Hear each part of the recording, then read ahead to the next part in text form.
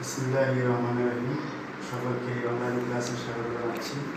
আমি মোহাম্মদ জাহাঙ্গীর আলম, প্রভাষক রাষ্ট্রবিজ্ঞান বিভাগ আমার বাসাতে মহিলা কলেজ ঠাকুরগাঁও আজকে আমরা পড়ব পরিণীতি ও সুশাসন দ্বিতীয় পর্যায়ের একটি গুরুত্বপূর্ণ বিষয়, বঙ্গভঙ্গ। প্রথমে আমরা দেখব বঙ্গভঙ্গ কী, তারপর বঙ্গভঙ্গের কারণ এবং সর্বশেষ আমরা দেখব যে বঙ্গভঙ্গের ফলাফলটা কী ছিল। প্রথমে আমরা আসি যে বঙ্গভঙ্গ ব্রিটিশ ব্রিটিশ ভারতীয় উপমহাদেশের একটি গুরুত্বপূর্ণ রাজনৈতিক ঘটনা হচ্ছে বঙ্গভঙ্গ এটা আমরা অনেকেই জানি যে বঙ্গভঙ্গ সংঘটিত হয়েছিল উনিশশো পাঁচ সালে।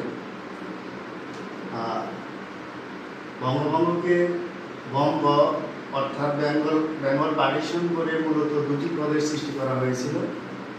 আর বঙ্গভঙ্গের পূর্বে ভারত উপমহাদেশের সবচেয়ে বড় একটি প্রদেশ ছিল বাংলা প্রেসিডেন্সি বা বেঙ্গল প্রেসিডেন্সি বা বঙ্গ প্রদেশ এই বঙ্গ প্রদেশকে দুটি অংশে ভাগ করা হয়। একটি হচ্ছে পূর্ববঙ্গ ও আসাম প্রদেশ, আরেকটি হচ্ছে পশ্চিমবঙ্গ প্রদেশ। ঢাকা, রাজশাহী, চট্টগ্রাম বিভাগ এবং আসাম নিয়ে গঠিত হয় পূর্ববঙ্গ এবং আসাম প্রদেশ। আর পশ্চিম পশ্চিম বাংলা, বিহার উড়িষ্যা নিয়ে গঠিত হয় পশ্চিমবঙ্গ প্রদেশ।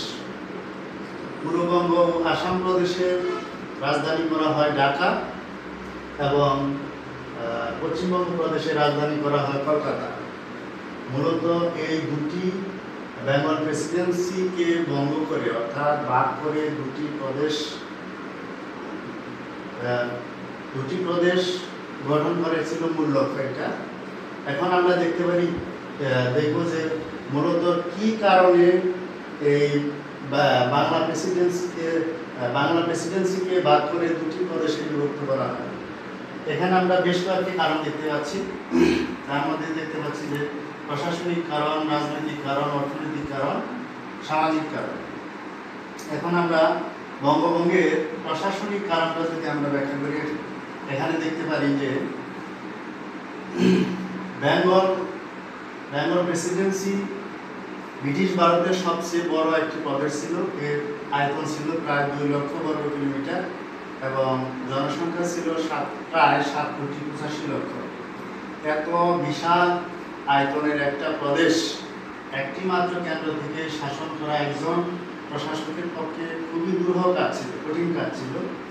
আর সেই লক্ষ্যে লর্ড কার্জন উনিশশো দুই সালে এই বেঙ্গল প্রেসিডেন্সিকে ভাগ করে দুটি প্রদেশ সৃষ্টি করার লক্ষ্যে ভারত সচিবকে একটি চিঠি লেখেন চিঠিতে তিনি উল্লেখ করেছিলেন যে একটি মাত্র কেন্দ্র থেকে এত বড় প্রদেশ শাসন করা খুবই দুর্ভ কাজ। আর এই লর্ড কার্জনের, এই লর্ড কার্জনের চিঠি প্রেক্ষিতে উনিশশো পাঁচ সালের পয়লা সেপ্টেম্বর বেঙ্গল প্রেসিডেন্সিকে ভাগ করে দুটি প্রদেশ সৃষ্টি করা হয়। একটি হচ্ছে পূর্ববঙ্গ ও আসাম প্রদেশ আর একটি হচ্ছে পশ্চিমবঙ্গ প্রদেশ এই প্রশাসনিক সুবিধার জন্য মূলত এত বড় একটা প্রদেশ দুটি অংশে বিভক্ত করে প্রশাসনিকভাবে, সুচারুভাবে শাসন করার জন্য এই বড় একটা প্রদেশকে ভাগ করে দুটি অংশে বিভা- ই করা হয়, বিভক্ত করা হয়, যেটা আমাদের বর্তমানে আমরা বাংলাদেশে দেখতে পাচ্ছি যে ঢাকাকে ঢাকা সিটি কর্পোরেশনকে বিভক্ত করে দুটি অংশে বিভক্ত করা হয়েছে। উত্তর ঢাকা, উত্তর সিটি কর্পোরেশন, দক্ষিণ সিটি কর্পোরেশন। মূলত প্রশাসনিক সুবিধার জন্য। এরকম প্রশাসনিক সুবিধার জন্য, প্রশাসনিকভাবে সুষ্ঠুভাবে শাসন কার্য পরিচালনা করার জন্য বঙ্গভঙ্গ করা হয়। এটা একটা অন্যতম কারণ ছিল। আরেকটি ছিল রাজনৈতিক কারণ। রাজনৈতিক কারণে আমরা দেখতে পারি যে উনিশশো সালে এখানে আমরা দেখতে পাই যে আঠারোশো পঁচাশি সালে ভারতীয় জাতীয় কংগ্রেস নামে একটি রাজনৈতিক সংগঠন গঠন করা, সৃষ্টি করা হয় এবং এই কংগ্রেসের নেতৃত্বে ভারতে জাতীয়তাবাদী আন্দোলন গড়ে ওঠে ব্রিটিশ সরকার এই কংগ্রেসের নেতৃত্বে জাতীয়তাবাদী আন্দোলনকে নস্বাত করার জন্য এবং গুলণ্ঠিত করার জন্য তারা তাদের ডিভাইড অ্যান্ড রুল পলিসির আলোকে তারা বঙ্গভঙ্গ করার জন্য উদ্যোগী হন। এবং তারা বঙ্গভঙ্গ করার মাধ্যমে ভারতের এই কংগ্রেসের নেতৃত্বে জাতীয়তাবাদী আন্দোলনকে নস্বাত করার জন্য একটা উদ্যোগ গ্রহণ করে ব্রিটিশ সরকার। এদিকে আমরা দেখতে পারি যে সাত সাত জনাব স্যার স্যার সলিমুল্লাহ নেতৃত্বে মুসলমানদের নিয়ে আরেকটি রাজনৈতিক প্ল্যাটফর্ম তৈরি করা হয়, সেটা হচ্ছে নিখিল ভারত মুসলিম লীগ। এবং উনি উনি মুসলমানদের বোঝাতে সক্ষম হন, সলিমুল্লাহ মুসলমানদের বোঝাতে সক্ষম হন যে বঙ্গভঙ্গের ফলে মুসলমান তথা আমাদের পূর্ববঙ্গের জনগণের আর্থসামাজিক এবং শিক্ষা, সংস্কৃতি সকল ক্ষেত্রে আমাদের অভূত উন্নয়ন সাধিত হবে। এবং সে লক্ষ্যে আমরা দেখতে পারি যে মুসলমানরা বঙ্গভঙ্গের প্রতি সমর্থন জুগিয়েছে এবং তারা এই বঙ্গভঙ্গের ফলে তাদের জীবন মান বা উন্নয়নের জন্য যে একটা প্রচেষ্টা, এটা উদার প্রচেষ্টা হয়েছিল, সেটা আমরা মুসলমানদের আন্দোলনের মাধ্যমে দেখতে পাই। আরেকটা বিষয় হচ্ছে যে অর্থনৈতিক কারণ।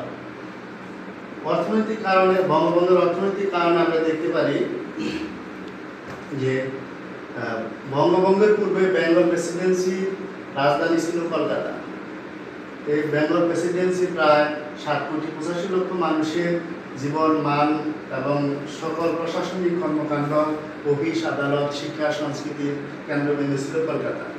এবং এই কলকাতা কেন্দ্রিক মানুষের জীবন, মান অনেকটা উন্নত ছিল। অনেক উন্নত ছিল, যেটা নাকি আমাদের এই পূর্ববঙ্গ বা বর্তমান আমাদের বাংলাদেশের মানুষের জীবনযাত্রার মান খুবই অনুন্নত ছিল। এবং এই অনুন্নত পূর্ববঙ্গের অনুন্নত জীবন মান উন্নত করার লক্ষ্যে তাদের এখানে রাস্তাঘাট, প্রশাসনিক দক্ষতা, প্রশাসনিক ভবন প্রশাসনিক ভবন এগুলা স্থাপন করার লক্ষ্যে তারা ব্রিটিশ সরকার ব্রিটিশ সরকার বঙ্গভঙ্গ করার পরিকল্পনা করেন এবং এই বঙ্গভঙ্গের ফলে পূর্ববঙ্গের অর্থনৈতিক উন্নয়নের একটা দ্বার উন্মোচিত হয়। আরেকটা কারণ আমরা এখানে দেখতে পারি যে সামাজিক কারণ। সামাজিক কারণে আমরা দেখব যে দীর্ঘদিন এই কলকাতা কেন্দ্রিক প্রশাসনিক কার্যক্রম পরিচালিত হওয়ার লক্ষ্যে কলকাতা জীবনমান কলকাতা জীবনমান উন্নত ছিল কিন্তু আমাদের পূর্ববঙ্গের জীবনমান এবং মুসলমানদের জীবন বিভিন্ন ক্ষেত্রে বঞ্চিত এবং শোষিত হতে থাকে। এবং তারা দিন দিন একটা দুস্থ গরিব দুস্থ গরিব সামাজিক জীবনের দিকে তারা নির্বাহ হতে থাকে। এই ধরনের একটা দুস্থ এবং সামাজিক বৈষম্যের অবসান ঘটানোর জন্য বঙ্গভঙ্গের পরিকল্পনা করা হয়। এই ছিল আমাদের মোটা দাগে বঙ্গভঙ্গের কারণ। সেখানে আমরা দেখতে পাই চারটি কারণ, মোটা দাগে প্রশাসনিক কারণ, রাজনৈতিক কারণ, অর্থনৈতিক কারণ, সামাজিক কারণ। এখন আমরা দেখব বঙ্গভঙ্গের ফলাফল। বঙ্গভঙ্গ করার ফলে এর আমাদের এই ব্রিটিশ ভারতীয় রাজনীতি কী ধরনের ফলাফল আমরা দেখতে পেয়েছিলাম বা দৃশ্য হয়েছিল সেগুলো আমরা দেখব। এখানে আমরা এক নম্বরে দেখতে পাচ্ছি যে ব্রিটিশদের বাদ ও শাসন কর নীতির বিজয়। যখনই কংগ্রেসের নেতৃত্বে ভারতীয় জাতীয়তাবাদী আন্দোলন চাঙ্গা হচ্ছিল, তখনই ব্রিটিশ সরকার তাদের বাদ কর শাসন নীতির বাদ কর শাসন নীতির আলোকে তারা বঙ্গভঙ্গ করে এবং ব্রিটিশ ভারতীয়দের এই জাতীয়তা, জাতীয়তাবাদী আন্দোলনকে নস্বাত করে দেয়। এর ফলে আমরা দেখতে পারি ব্রিটিশদের বাদ কর শাসন নীতির বিজয় হয়। দুই নম্বরে আমরা ফলাফলে দেখতে পাই যে ভারতীয় জাতীয়তাবাদী আন্দোলন নস্বাতকরণ এই বঙ্গভঙ্গের ফলে কংগ্রেসের নেতৃত্বে আমরা আমরা পূর্বেই আলোচনায় দেখেছি যে এই কংগ্রেসের নেতৃত্বে যে জাতীয়তাবাদী আন্দোলন চাঙ্গা হয়েছিল বা গড়ে উঠেছিল, সেটা এই বঙ্গভঙ্গের ফলে সেটা নস্বাত হয়ে যায়। আরেকটা কারণ আমরা দেখতে পাচ্ছি যে সাম- সাম্প্রদায়িকতা সৃষ্টি সাম্প্রদায়িকতা সৃষ্টি।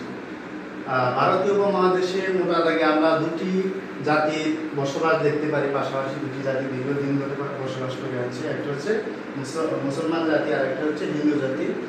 এবং তারা দীর্ঘদিন এরা পাশাপাশি আত্মীয়তার বন্ধনে ভ্রাতৃত্ব ভ্রাতৃত্ববোধের বন্ধনে আবদ্ধ হয়ে তারা পাশাপাশি বসবাস করে আছে। কিন্তু এই বঙ্গভঙ্গের ফলে এই মুসলমান এবং হিন্দুদের মধ্যে একটা সাম্প্রদায়িক মনোভাব চাঙ্গা হয় এবং তারা একে অন্যের বিদ্বেষে পরিণত হয় এবং তাদের এই বিদ্বেষের ফলশ্রুতিতে তাদের মধ্যে ভারতের বিভিন্ন জায়গায় তখন দাঙ্গা দেখা দেয় এই দুটি জাতির মধ্যে। এটা আসলে বঙ্গভঙ্গের একটা ফলাফল ছিল। মুসলমান এবং এবং এই হিন্দু জাতির মধ্যে বিদ্বেষ সৃষ্টি হয় এবং বিদ্বেষের ফলে বিভিন্ন সময় তাদের মধ্যে দাঙ্গা ঝগড়া বিবাদ দেখা দেয় আরেকটা আমরা দেখতে পাচ্ছি যেখানে মুসলিম লীগের জন্ম। মুসলিম লীগের জন্ম। বঙ্গভঙ্গ উনিশশো পাঁচ সালে যখন বঙ্গভঙ্গ করা হয় তখন আহ, ভারতীয় মুসলমান সম্প্রদায় তখন এর বিরুদ্ধে আন্দোলন আন্দোলন শুরু করে। কারণ এই কায়েমি স্বার্থবাদী হিন্দুদের স্বার্থে আঘাত আঘাত হানে। এই বঙ্গভঙ্গর ফলে হিন্দুরা তারা ভাবতে শুরু করে তাদের এতদিনের এই কলকাতা কেন্দ্রিক সাম্রাজ্যবাদী যে মনোভাব ছিল এবং তাদের সকল জীবন মানে সকল ক্ষেত্রে যে মুসলমানরা তাদের উপর নির্ভরশীল ছিল, এটা যদি বঙ্গভঙ্গ হয় তাহলে এই মুসলমান জাতি আর কলকাতা এবং হিন্দুদের উপর আর নির্ভরশীল থাকবে না তারা পূর্ববঙ্গ অর্থাৎ ঢাকায় তাদের অফিস আদালত হবে এখানে সকল ধরনের উন্নয়ন সংগঠিত হবে তারা কখনো কলকাতাও যাবে না।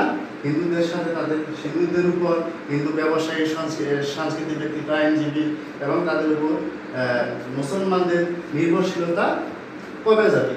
এজন্য তারা বঙ্গভঙ্গের বিরুদ্ধে আন্দোলন শুরু করে এবং এই বঙ্গভঙ্গের বিরুদ্ধে আন্দোলনকে দমন করার জন্য মুসলমানরা আরেকটা রাজনৈতিক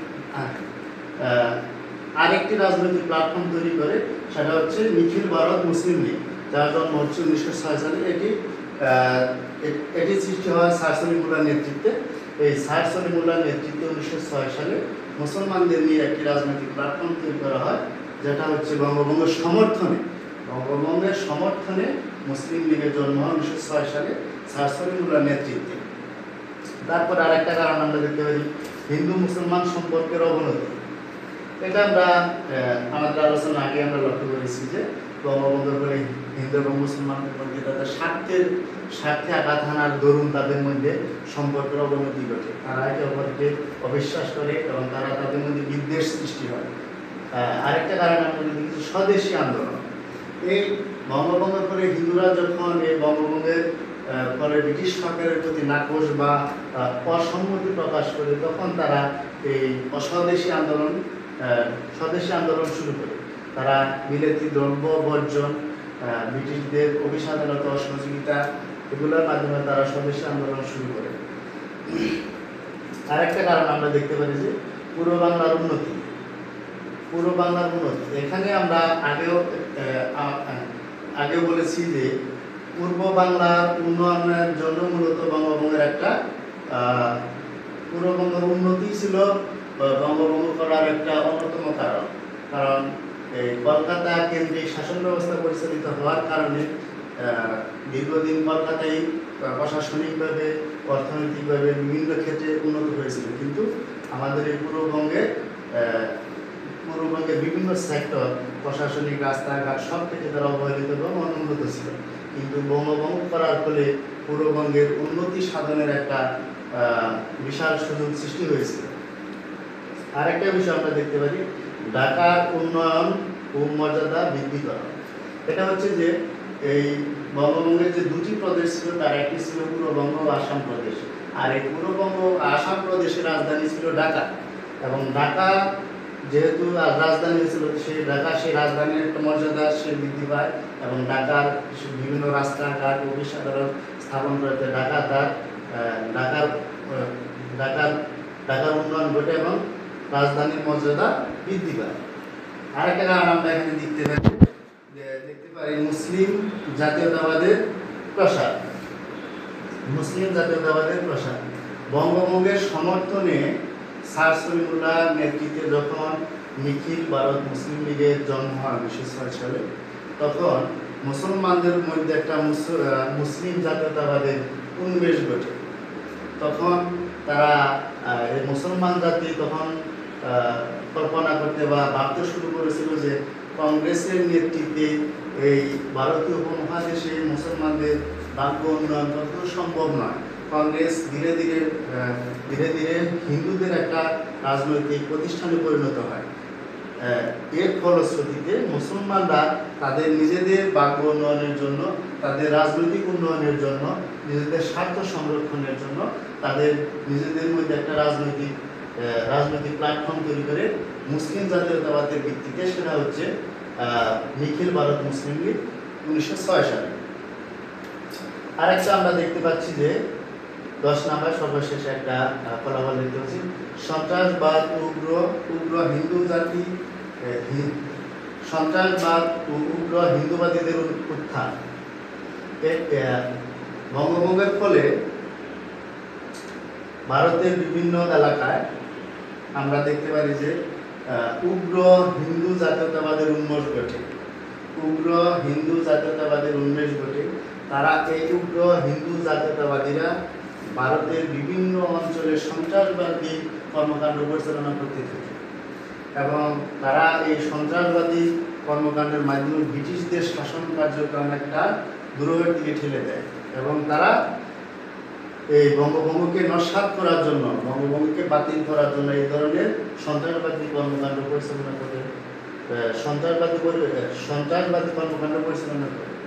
এটা আমরা নেক্সট ক্লাসে দেখতে পারব যে আসলে এই মুসলমানদের সমর্থন এবং হিন্দুদের এই অসহযোগিতার দরুন শেষ পর্যন্ত বঙ্গভঙ্গ কীভাবে রদ হয় বা বাতিল করা হয়, সেটাও আমরা নেক্সট নেক্সট পরবর্তী ক্লাসে আমরা দেখতে পাবো। তাহলে আজকে আমরা যে ক্লাসের যে আউটলাইন আমরা দেখতে পারি যে আহ, বঙ্গভঙ্গ ভারতের একটি গুরুত্ব রাজনৈতিক একটি ঘটনা সেটি সংগঠিত হয়েছিল উনিশশো পাঁচ সালে লর্ড কার্জনের নেতৃত্বে এবং সেটার মূল বিষয়টা হচ্ছে যে বিশাল আয়তনের বেঙ্গল প্রেসিডেন্সিকে বিভক্ত করে দুটি প্রদেশ গঠন করা হয়।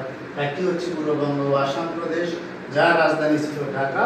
আরেকটি ছিল পশ্চিমবঙ্গ প্রদেশ যার রাজধানী ছিল কলকাতা। এই দুটি মূলত প্রশাসনিক কার্য সুচারুভাবে সম্পন্ন করার লক্ষ্যে এই বঙ্গভঙ্গ করা হয় উনিশশো পাঁচ সালে লর্ড কার্জনের নেতৃত্বে। এই ছিল আজকে আমাদের আমাদের ক্লাসের মোটামুটি আমাদের মূল কথা। সবাইকে ধন্যবাদ। আসসালাম